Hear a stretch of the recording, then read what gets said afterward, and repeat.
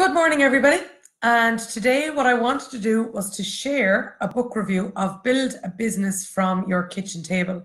And this was written by the two founders of notonthehighstreet.com, Sophie Cornish and Holly Tucker.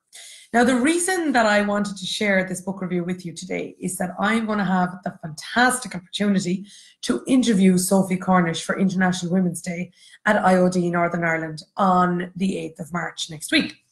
So, in preparation, um, Sophie very kindly sent me a copy of her book, and I thought that I would share my thoughts and reflections on the book for you. Now, in essence, this is a book for people who want to start their own business. As the name suggests, the verb is to build. Uh, so therefore, it is designed for people who do want to get up and running. Now, this book has a difference though. Well, one big one big difference and one for what I felt was a smaller difference. If you want to build a business to make it scalable and really big from the beginning, that is what this book does is it has a mindset here of how can you build a business to make not incremental steps towards growth but to think big from the beginning. And that's what I found different about this, is that it very much is um, designed by women who would subsequently go on to turn over hundreds of millions of euro. And they started with that intention in mind and they have built it with that intention of mind. So many of you might have heard of the business, notonthehighstreet.com. It's an online marketplace for items uh, that are boutique and bijou and different and bespoke and made by people who want to handcraft them with love. It's not eBay. It is instead something that is far more personalized and um, far more in line with that trend. But they wanted to reach from the stars to the beginning. So if you're one of those people where you'd like to build a business uh, and think big from the very, very beginning, think scale, this this book is for you. If it is, uh, if if you're more incremental and you you know you want to see how it goes and then you want to build it step by step, it's good for you too. There's no doubt about that. But it's just, I did find that that mentality was there from the beginning. Now, the other thing I found um, is that I didn't build a business to do with craft, uh, and I didn't build a business that was to do with product, whereas this is. They created a service for people who would thus go on to create a, a craft business uh, and specifically a product based business. Now, mine, my businesses are all service based. Savvy Teens, uh, our summer camp and TY work placement business is a service. Financial training is a service. The positive economist, the speaking business, is a service. So that would have been the second difference that I found to a lesser extent, to a lesser extent, because you can still apply it and use it. Um, but I, I did find that of a lesser extent. Now, the second thing I wanted to mention about this is within the book, um, a range of times, what they did was they turned to the people who are uh, exhibiting on the site uh, and here, for example, I hope you can see that now, they said a number of times, we asked our partners. Lots and lots and lots and lots and lots of times they say that. We've asked our partners. And they bring in not just their own scalable, here's what happened mentality, but also what they did was that they brought in, here's the experience of the people that we have worked with and that we have helped. And I think that that's really helpful. So, what this book actually feels like is their real world experience um, as well as a very curated community focused experience as well.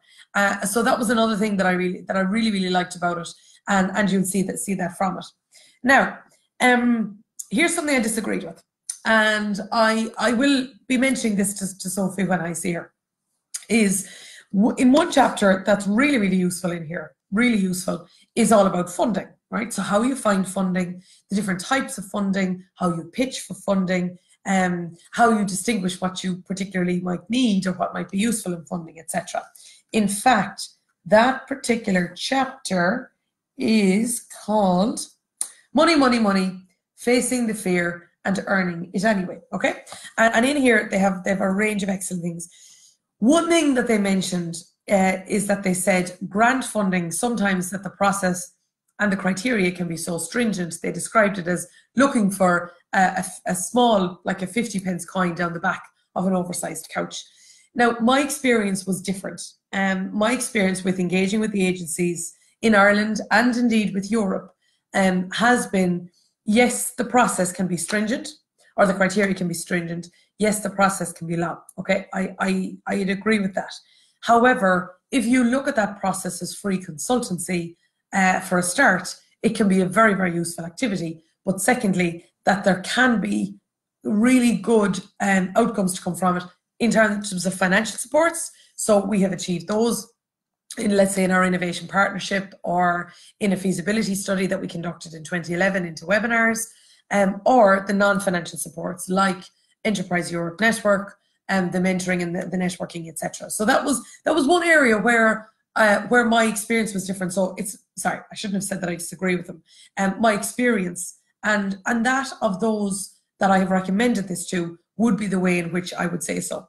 Now, another thing that I found really useful in this book, and you know what, it's something that I'll hold on to for a very long time, is that they call the down and dirty test. And the down and dirty test has a selection of questions. One of the best things you can ever give to an entrepreneur is a list of questions to ask themselves. Hence, back to my, my consultancy point. But the down and dirty test consists of four tests originality, um, the competitive test, the financial test, and the expansion test. That's a really good one to have.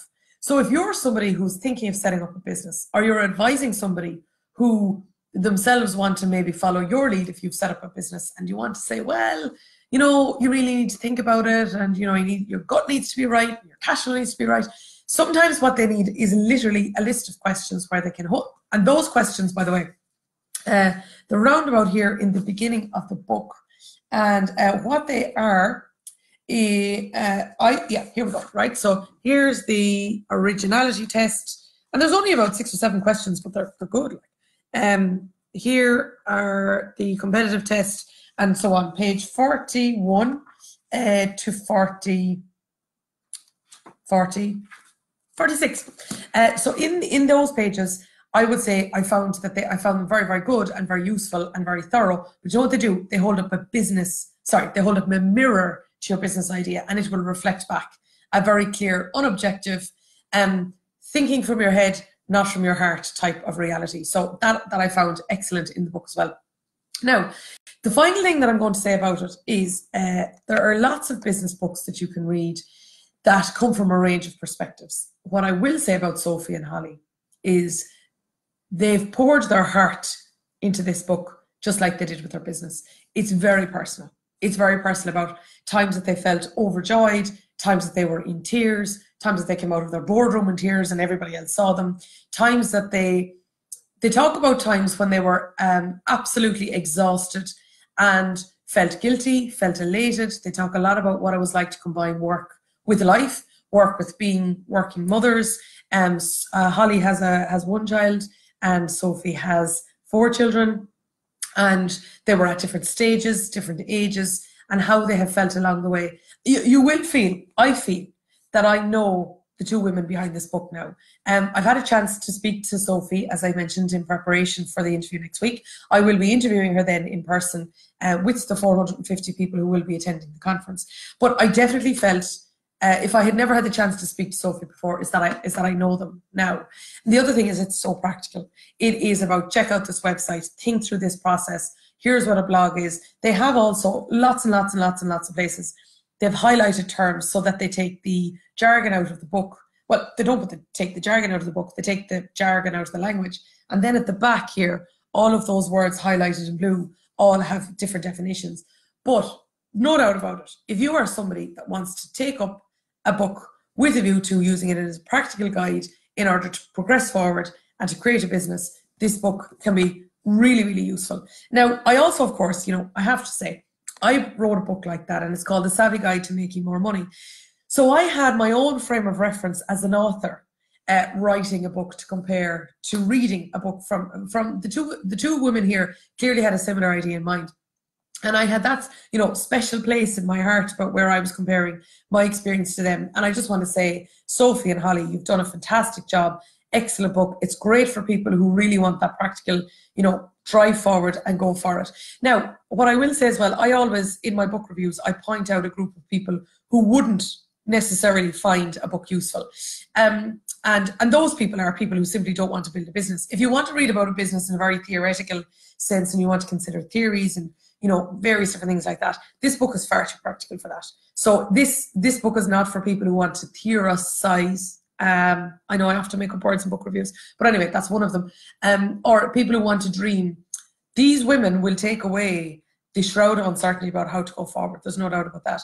But what I will say is that this book, who I won't say, if, if, if you simply want to sit back and to read about an entrepreneur story and in your own way you want to find a way in which you know, you kind of want to make up an excuse for how this wouldn't be you. This isn't it either. Holly and Sophie pave the way forward.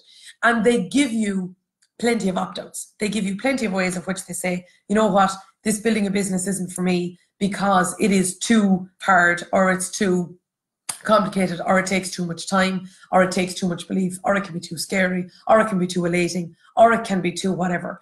They give lots of opt outs. So if you're looking for, you know, for an opt out before you start, they're going to make it too easy for you because they will point out the ways in which this is not suitable. So the point I'm making here is that if you really want to go after building a business scalably, thinking big from the beginning, this book is ideal. So Holly, Sophie, you've done a super job. Sophie, looking forward to meeting you next week. And to everybody else, best of luck in uh, in what will be a great read and a very practical one.